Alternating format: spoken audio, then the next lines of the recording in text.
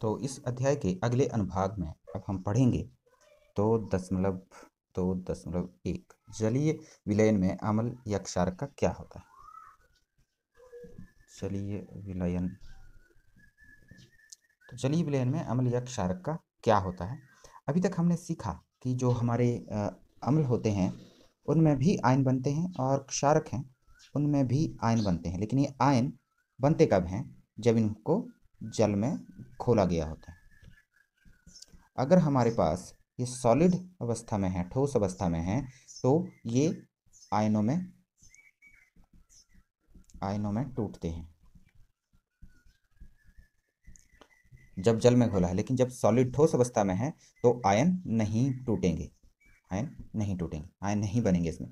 जैसे अम्ल है एच अगर ये सॉलिड है तो ये आयन नहीं टूटेंगे एच पंचाज पॉजिटिव और क्लोरीन पंचाज नेगेटिव दो आयन है इसमें, एक पॉजिटिव और एक नेगेटिव ठीक है? अब इसको जल में घोला है, तब ये टूटेंगे अदरवाइज़ नहीं। वैसे क्षारक में होता है एन ए ओ एच इनके पास N A one charge positive और O H one charge negative तो देखिए, यहाँ पर जो अम्ल की बात हम कर रहे हैं, इसमें क्या होगा? इसमें जो हाइड्रोजन है, ये अलग हो जाएगा क्लोरीन अलग हो जाएगा और जल के अणु के साथ ये हाइड्रोजन मिल जाएगा और H three O one charge positive बन जाएगा, ठीक है? तो जल में अम्ल H three O ion hydronium ion बनाते हैं, या इसको ऐसे भी लिख सकते हैं H one charge positive aqueous aqueous का मतलब है वाटर वाटर के साथ एक हाइड्रोजन जुड़ गया है। तो H three O plus hydronium ion बन गया है। या इसको हाइड्रोजन आयन बोल सकते हैं, इसको हाइड्रोनियम आयन बोल सकते हैं। तो यहाँ पर हमने सीखा कि जल की उपस्थिति में ही ये आयन बनेंगे। जल की अनुपस्थिति में आयन नहीं बनते। जल की यहाँ पे लिखते हैं, जल की अनुपस्थिति में यह आयन पृथक नहीं होंगे। आयन पृथक नहीं होते। ठीक है? तो ये हम यहाँ पर हमने सीखा है। जैसे एच है हमारे पास। एच इसको हमने जल में डाला, घोल दिया। तो हमारे पास क्या बना? एक एच थ्री ओ आयन बना है और एल वन चार्ज नेगेटिव बना कैसे? जो एल का एच वन चार्ज पॉजिटिव है तो ये जो सी एल नेगेटिव है, ये तो अलग हो गया, ये एच अलग हो गया, ये इसके साथ जुड़ा है तो इन दोनों के जुड़ने से ये बना है और इसका क्लोरीन अलग हो गया है। तो इस प्रकार ये हाइड्रोनियम आयन बना है, जल के अणु के साथ इस हाइड्रोजन के जुड़ने से। तो अब आपने याद रखनी है कि अमल जल में हाइड्रोजन आयन एक्वस लिखना है साथ में, या हाइड्रोनियम आयन लिखना है, उत्पन्न करते हैं और क्षारक हर अम्ल उत्पन्न करेगा। अगर एच है तो नेगेटिव आयन क्लोराइड आयन होगा अगर एच टू है तो नेगेटिव आयन सल्फेट आयन होगा। एच सी एल में सी एल होगा नाइट्रिक एसिड में एन थ्री होगा। लेकिन समानता क्या है सभी अम्लों में कि हाइड्रोनियम आयन या हाइड्रोजन आयन ज़रूर निकलेगा। उसी तरह क्षारक में ओ एच नेगेटिव आयन ज़रूर निकलेगा। सबसे पहले हम एक टेस्ट ट्यूब में सोडियम क्लोराइड लेते हैं।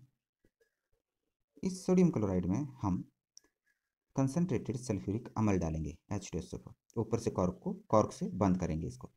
उसके बाद एक स्टॉक डिलीवरी ट्यूब लेंगे इस तरह से। आप देखेंगे इस टेस्ट ट्यूब में बबल्स निकलने स्टार्ट होंगे। इसका मतलब गैस बन रही है यहाँ पर। ये गैस निकल रही है डिलीवरी ट्यूब से होते हुए। इस गैस का परीक्षण हम करेंगे कि ये अम्लीय है या क्षारकीय तो इसके लिए हम एक लिटमस पत्र साथ में इस डिलीवरी ट्यूब के एक मुँह पर लगाएँगे। इस अभिक्रिया में डबल डिस्प्लेसमेंट दोहरा विस्थापन हो रहा है। देखिए एच टू एस फोर में और आ, साथ में हमने सोडियम क्लोराइड लिया है एन तो क्या होता है? एच टू एस फोर में से हाइड्रोजन निकलकर क्लोराइड आयन के साथ जुड़ेगी और सोडियम क्लोराइड में से सोडियम निकलकर सोडियम यहाँ से निकलकर सल्फेट आयन के साथ जुड़ जाएगा। तो बनेगा हमारे पास सोडियम सल्फेट और हाइड्रोजन क्लोराइड। तो ये अभिक्रिया यहाँ पर इस तरह से पूरी होती है। तो एच गैस के रूप में बाहर निकल रही है। तो ये एच आपको पता है अम्ल है तो क्या यह शुष्क अवस्था में भी अम्लीय गुण देगी? इसका परीक्षण लिटमस पत्र द्वारा हम करेंगे।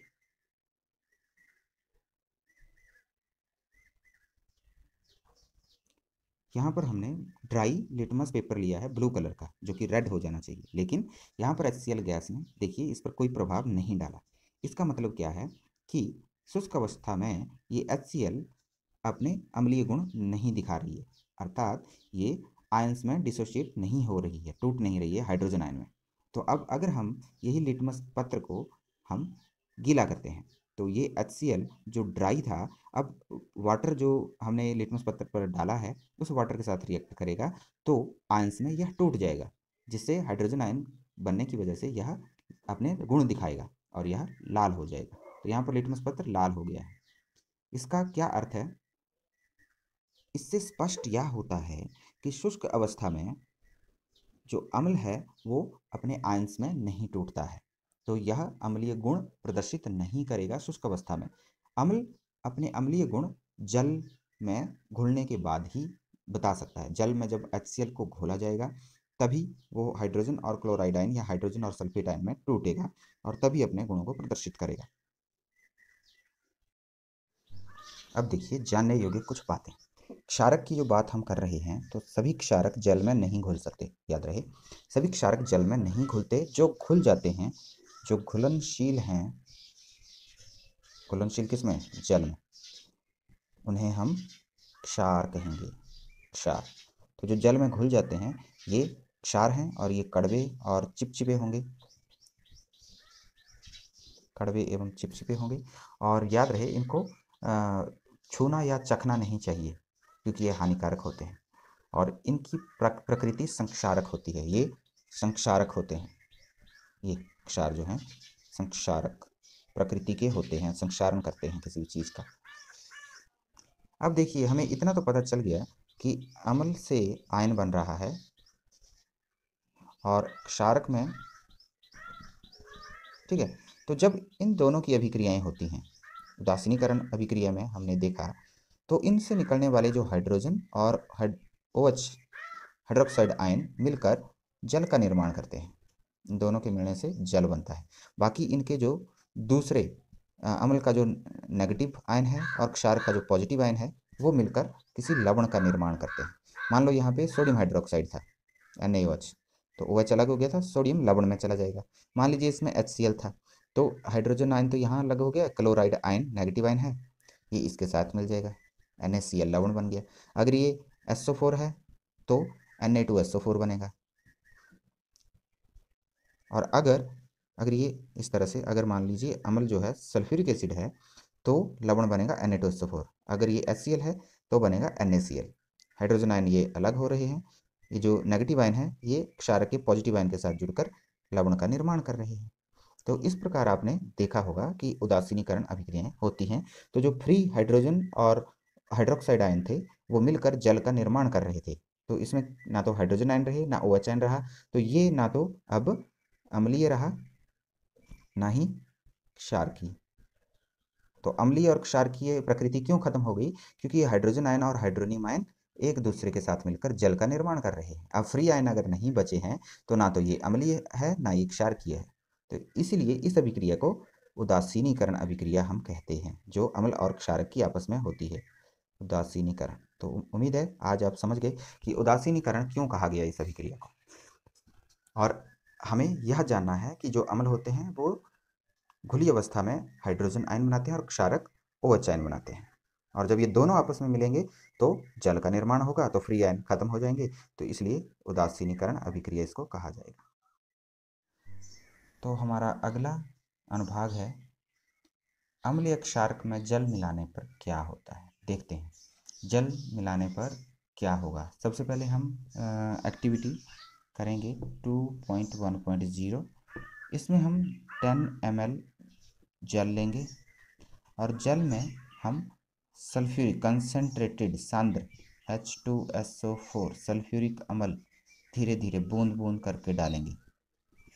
फिर देखेंगे कि इस जो परख नली हमने ली, जिसमें ये सोल्यूशन हमने डाला, उसको हाथ लगा कर देखेंगे। तो आप देखेंगे कि ये गर्म हो जाती है। तो आप बताएँ, ये गर्म क्यों हुई? जल और सल्फ्यूरिक अम्ल के बीच जब अभिक्रिया होती है तो यह एक ऊष्मा क्षेपी अभिक्रिया है। ऊष्मा निकल रही है इसमें, इसलिए ये अपने आसपास के वातावरण को गर्म कर देती है। तो इसलिए हमें ये गर्म होती हुई प्रतीत होगी, क्योंकि यह ऊष्माक्षेपी अभिक्रिया है।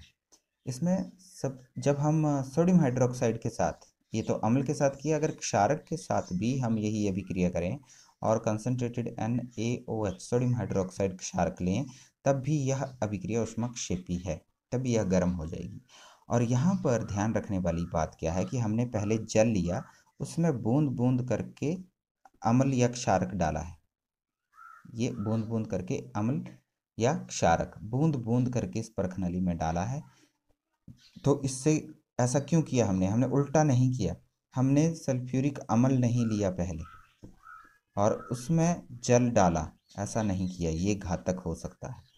क्यों? क्योंकि बहुत ज़्यादा ऊष्मा उत्पन्न करेगी अभिक्रिया। अगर हम जल को डालेंगे सल्फ्यूरिक एसिड में तो जो अभिक्रिया में ऊष्मा निकलेगी, वो कहाँ जाएगी? वो बाहर जाएगी। जिसकी वजह से ये कंटेनर या तो टूट सकता है, या इसमें रखा रसायन छलक सकता है, बाहर आ सकता है, आपके ऊपर गिर सकता है, आपको नुकसान पहुँच सकता है। इस अभिक्रिया में क्या हो रहा है? हमने लिया है पहले ही पानी। तो जब हम एच टू एस फोर बूंद बूंद करके डालेंगे तो थोड़ी थोड़ी ऊष्मा निकलेगी, जो इस जल के कणों के बीच समा जाएगी।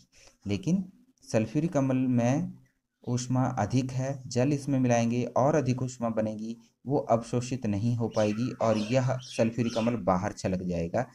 और अगर बहुत ज़्यादा जल एकदम डाल देते हैं तो ये जो कंटेनर है, उस ऊष्मा की वजह से टूट सकता है, और आप पर छींटे लग सकते हैं। अमल के जिससे आपको नुकसान पहुँच सकता है।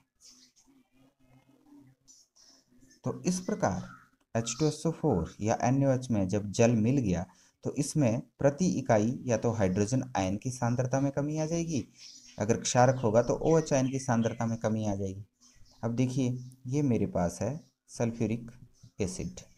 इसमें मान लीजिए, इतने क्षेत्र में हमारे पास हाइड्रोजन आयन है एक हज़ार। अब हमने इसको इतने सारे पानी में मिला दिया। तो ये एक हज़ार आयन इस सब में बिखर गए। अब इतना एरिया अगर हम, अब देखिए, इसमें है हाइड्रोनियम, हाइड्रोजन आयन। इतने सारे, मान लीजिए हज़ार हैं, इतने एरिया में। जब इसको इतने पानी में मिला देंगे तो ये हज़ार आयन बिखर जाएँगे।